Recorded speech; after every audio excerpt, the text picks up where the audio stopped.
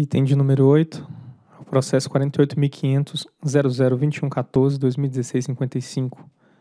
Trata-se da proposta de abertura de audiência pública com vistas a colher subsídios e informações adicionais para o aprimoramento da análise dos efeitos financeiros decorrentes de recontabilizações da Câmara de Comercialização de Energia Elétrica anteriores a janeiro de 2015. Relator, diretor Tiago de Barros Correia. As regras de repasse tarifário dos custos de compra de energia nos processos de reajuste e revisão foram definidas nos contratos de concessão de serviço público de distribuição. A Resolução Normativa número 703 aprovou o módulo 4 dos procedimentos de regulação tarifária, o PRORET, o qual estabelece as regras de repasse dos componentes financeiros, dentre eles a CVA, que é a conta de variação dos valores da parcela A, e o repasse da sobrecontratação de energia e exposição no mercado de curto prazo. Na oportunidade da aprovação do módulo 4, foi incluída a seguinte redação: Situações excepcionais de recontabilizações de montantes contratuais ou de cargas trazidas pelas concessionárias ou identificadas pela ANEL poderão ser tratadas em processos específicos, desde que o ajuste financeiro resultante do cálculo seja considerado relevante. Em 14 de abril de 2016, foi solicitada a abertura de processo para tratar da análise dos, feitos, dos efeitos financeiros decorrentes de recontabilizações na Câmara de Comercialização de Energia Elétrica anteriores a janeiro de 2015. Em 15 de março de 2017, a Superintendência de Gestão Tarifária concluiu a nota técnica número 54, com o fito de apresentar a proposta de procedimentos regulatórios para efeitos financeiros decorrentes de recontabilizações de Câmara, da, da Câmara de Comercialização de Energia Elétrica, aqui da CCE, anteriores a janeiro de 2015, a ser submetida à audiência pública. Em 20 de março de 2017, foi sorteado o relator desse processo, é o relatório.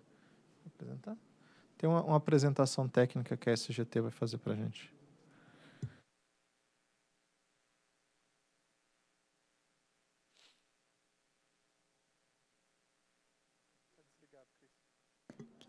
É, o objetivo dessa apresentação é, é, apresentar a análise realizada pela SGT em relação aos efeitos financeiros é, decorrente de recontabilizações de carga de contratos re, realizados pela CCE anterior à data de janeiro de 2015.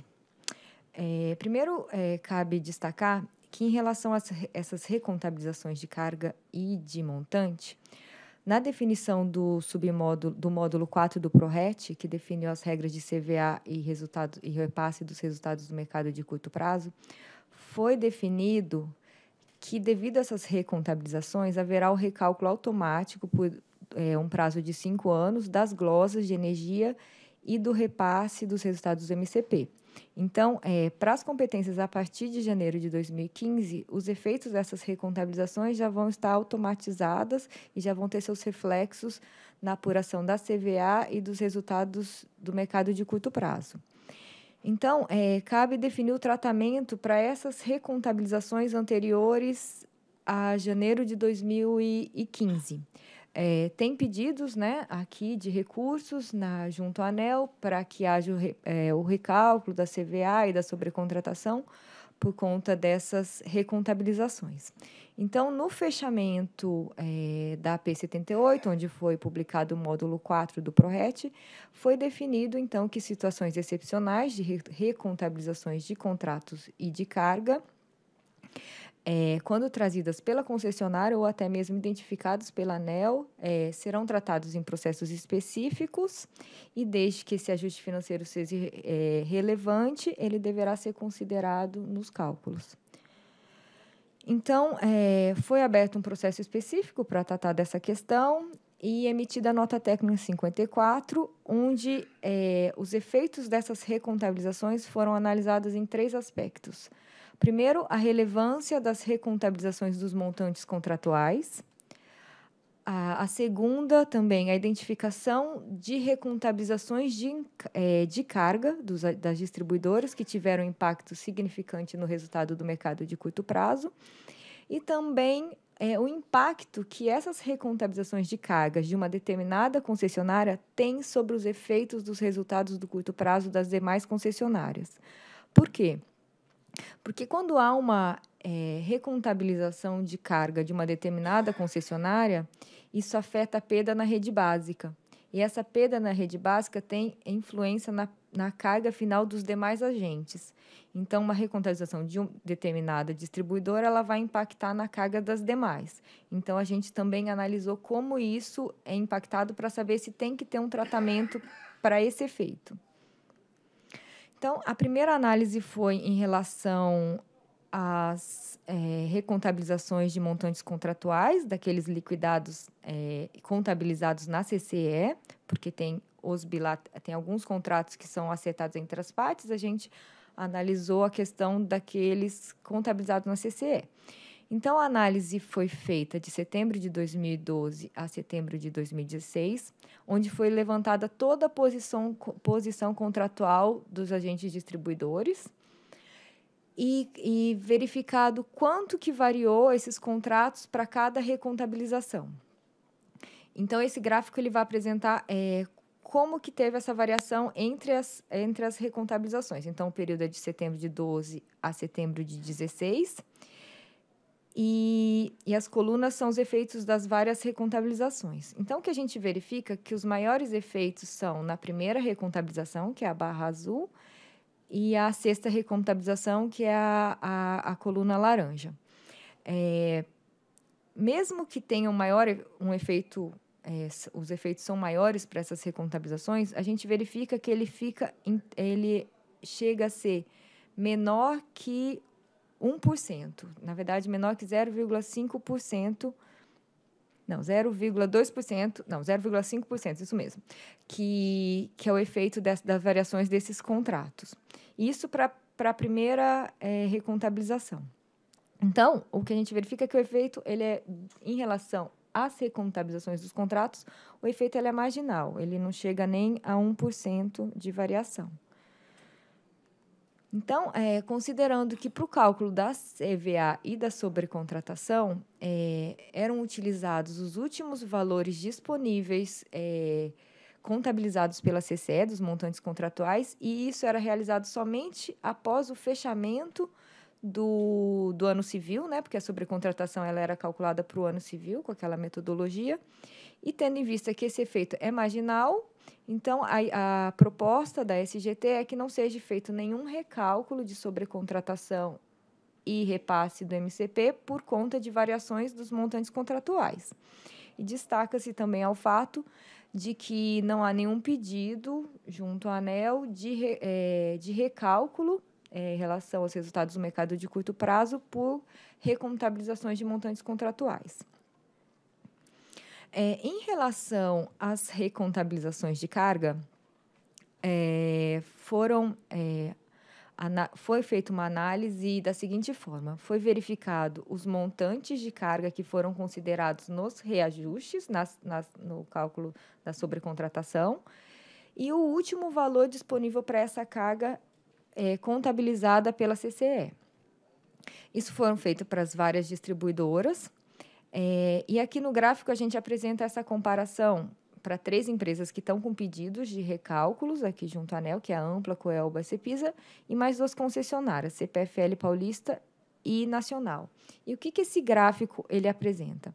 Ele apresenta, então, para o período de setembro de 2012 a outubro de 2000, na verdade, dezembro de 2014, o quanto é, teve de variação entre a carga que a gente considerou nos nossos processos e a carga é, e o valor da última carga é, recontabilizada pela CCE.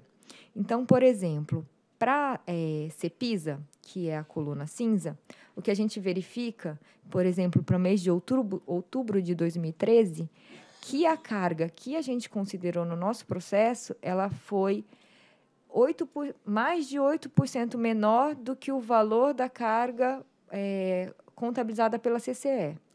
Então, é, né, as colunas para baixo são as cargas que a gente considerou menor em percentual e para cima os que a gente considerou maior. E o que a gente verificou que não são só aquelas concessionárias que entraram com pedido que têm variações, tem outras concessionárias que também têm variação. Então a proposta da SGT é que seja feito o recálculo da sobrecontratação para aquelas que apresentaram é, divergências significativas entre os valores que a gente considerou né, que era o valor da, da última é, com recontabilização disponível à época, e o que temos agora. Por fim, foi feita a, última análise, que é o impacto que essas é, recontabilizações de carga têm nas demais concessionárias por variações no fator de perda de consumo. O que a gente verifica é que o impacto da variação desses fatores de perda ele ficou entre mais ou menos 0,15% entre os eventos. E tendo em, é, em, vista que o percentual médio da perda da rede básica é de 2,31%, então é, seria 0,15% de 2,31%, esse efeito é, é marginal na variação da, das perdas da rede básica para as demais concessionárias. Entretanto, é, foi feita uma simulação é, para o ano de 2014, que foi um ano onde o PLD médio foi alto, foi em torno de 690, considerando uma variação máxima. Na verdade, é uma simulação, ela não representa os resultados é, reais, porque isso tem que ser olhado caso a caso para ver que valor foi considerado.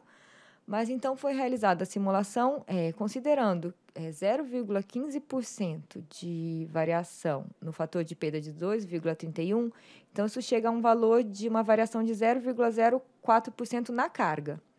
Então, considerando esse 0,04% na carga para o ano de 2014 e com uma variação do PLD, um, um, um valor do PLD de 690, dependendo da concessionária, esse valor ele pode ser significativo, porque é amplificado pelo tamanho do mercado e amplificado também pelo valor do PLD.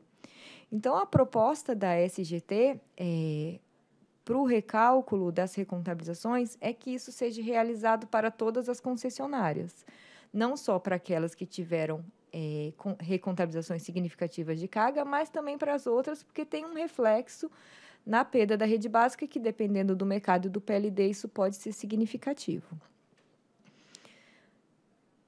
Então, a, a, proposta da SGT é para ser submetida em audiência pública, né, para essas recontabilizações anteriores a janeiro de 15, é que seja realizado o recálculo da sobrecontratação de energia e da CVA de todas as distribuidoras para as competências de janeiro de 12 a dezembro de 14 e observando o que? Então, observando os últimos valores recontabilizados pela CCE para o acrônimo NET, relativo ao ano de 2012.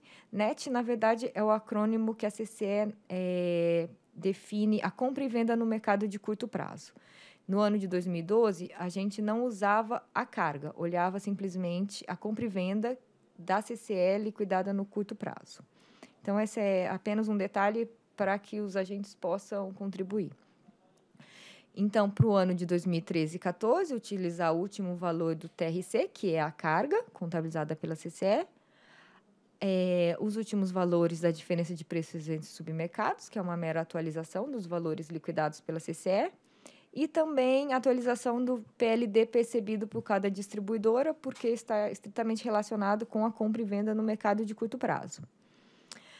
A proposta é que essa diferença ela seja calculada durante todo o ano, é, junto com os processos tarifários, e que a diferença seja considerada é, como um item na CVA em processamento de cada reajuste. Então, ela entraria como item. É, em relação é, a futuras recontabilizações de carga, caso ocorra, Entende-se que o repasse ele não é automático, estaria novamente condicionada uma análise da relevância dos impactos e observando o prazo decadencial de cinco anos. E, por fim, acho que é importante ressaltar que a proposta ela é mera atualização dos números, dos valores considerados, sendo que não foi proposta nenhuma alteração metodológica retroativa, simplesmente a atualização dos montantes. a Procuradoria já se manifestou. É, a apresentação da, da SGT, feita pela, pela Cris, ela trata de uma maneira muito mais didática o que está na fundamentação do voto.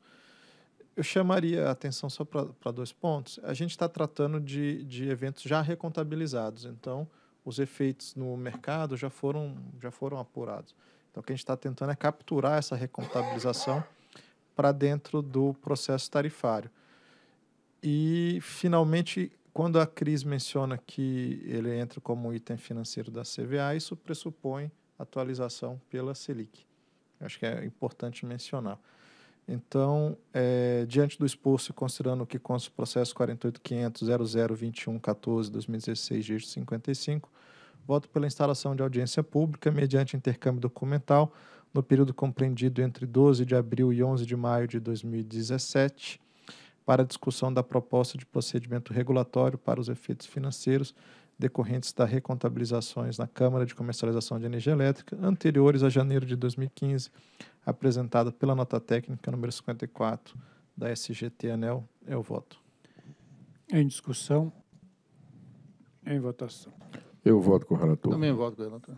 Também voto com o relator. Proclamo que a diretoria decidiu pela instauração de audiência pública mediante intercâmbio documental no período compreendido entre 12 de abril e 11 de maio de 2017 para a discussão da proposta de procedimento regulatório para os efeitos financeiros decorrente da recontabilização da, da Câmara de Comercialização de Energia Elétrica anteriores a janeiro de 2015, apresentado pela nota técnica 54-2017 SGT ANEL. Próximo item.